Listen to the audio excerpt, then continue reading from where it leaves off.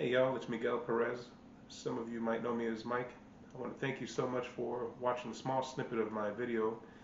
Uh, that song was called Adelante. The full song will be released on Spotify, iTunes, Amazon February 14th, just a couple more weeks.